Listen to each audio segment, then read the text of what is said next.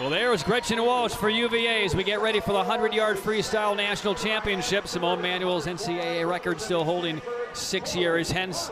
And Walsh is the defending champ.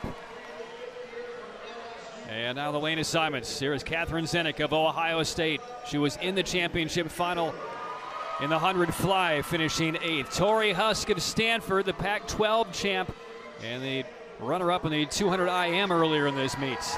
There's Maggie MacNeil, who claimed the first swimming national title in LSU history earlier in the meet, winning the 50 free. And she'll have to run down Gretchen Walsh, the defending champion, and already won national championship under her belt in Knoxville in the 100 back. In lane five, Gabi Albiero of Louisville, fifth fastest time in the country at 46.95. Katharine Berkoff in sixth for NC State, third in this event in the championship last year.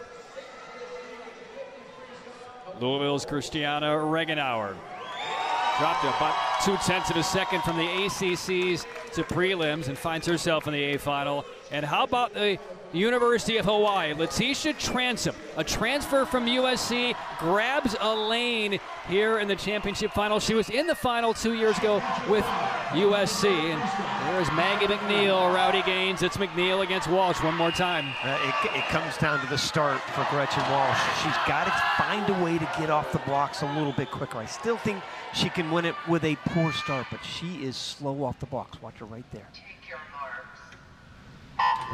It's her reaction time. You see that? 0.74, a little bit better than this morning. She was 0.78, but still much slower than anybody else in the field. Boy, oh boy.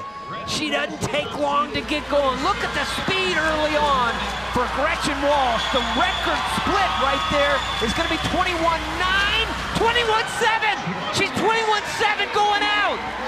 Buckle up. Walsh in the clear. Simone Manuel that went 21-9 going out for 45 plus. The record's 45-56. Gretchen Walsh is going to win it. Can she break the record? Here comes Walsh. Final strokes. NCAA mark in her future. No! Missed by a five one hundredths. 45-61. And Manuel's standard remains. But Gretchen Walsh defends her national championship in the 100-yard free with a dominating performance. Wow. Husk the runner-up, Maggie MacNeil third. Oh my goodness. She was 21-7 on the feet. That, on the feet, my man. Watch, again, there she is. Watch when she comes off. Very slow off the block it's not so much what happens once she enters the water. She's fine when she gets those underwaters going. But it's just that reaction of getting off the block and exploding. But look at that. Look at the line she has coming off the wall.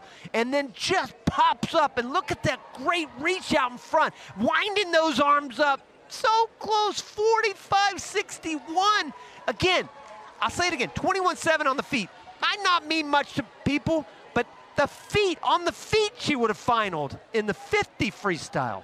That's how fast that young woman is. Right. Unbelievable. She won the national championship last year by 73 hundredths. She wins it this year by 85 hundredths over Tori Husk. And Maggie MacNeil almost a second behind. And five swimmers under 47. Just another phenomenal performance by the Virginia Cavaliers and Gretchen Walsh, who just as a sophomore – she was the runner up in the ACCs because Kate Douglass swam in it. She's a two time national champion now for Virginia. Gretchen, you defend your title in a time that is pretty unbelievable. How did this shape up to your expectations coming into the meet tonight? Uh, yeah, I, I don't even know what to say. Like, I didn't expect to do this. My goal was just to break 46, and I'm just so happy I got my hand on the wall first and couldn't be more pleased with that time. So. When you come into a race like the 100 freestyle that is so pressure packed and intense, how are you able to kind of balance excitement and nerves before the race? I love like talking to the girls in the ready room before. It keeps me really relaxed and just like focusing on the team aspect of everything like keeps me out of my head and getting nervous about like messing up or anything. So, yeah. Well, congratulations on another win this weekend, Gretchen. Incredible swim. Thank you, Elizabeth.